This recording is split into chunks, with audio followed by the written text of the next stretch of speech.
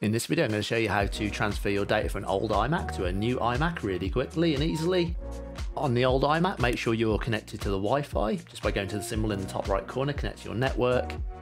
Go to your launchpad and then do a search for Migration Assistant and then press continue. It'll ask you for your password, so fill in your password. And the old one is ready to go. Make sure on the new machine that you power up the keyboard and the trackpad or mouse if you've got one. Then power up the iMac.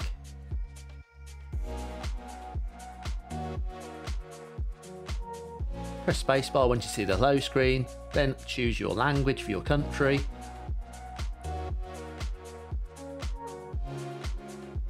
Choose your country or region. You can skip the steps if you want, or you can set up accessibility if you need to. I'm going to press not now and not now. Press continue for data and privacy.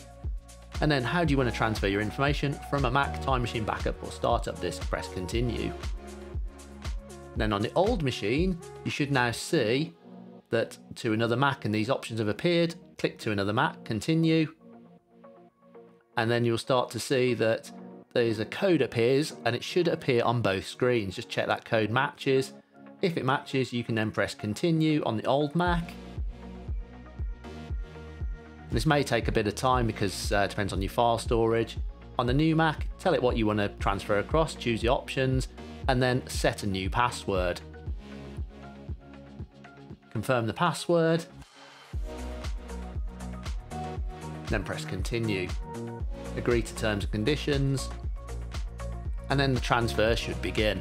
And then I'd go grab a cup of coffee or some cake, you'll see the progress bars on both machines. This may take a while depending on how many documents you have.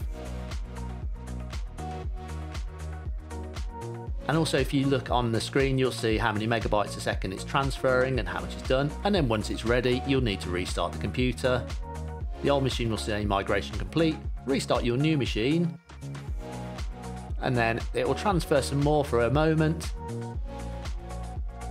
and then it'll complete it. And once it's completed, press done. And then sign in to the new iMac and all your files should be there. It may ask you to set up accessibility and IDs. You can set those up if you want to. And also sign in with your Apple ID to synchronize or your iCloud. If you don't want to do it right now, you can do it later. And also it'll ask you to set up Touch ID if you have the keyboard. I've set one to skip, I'll do it later. And there we go. All our files have moved across and all our apps have installed.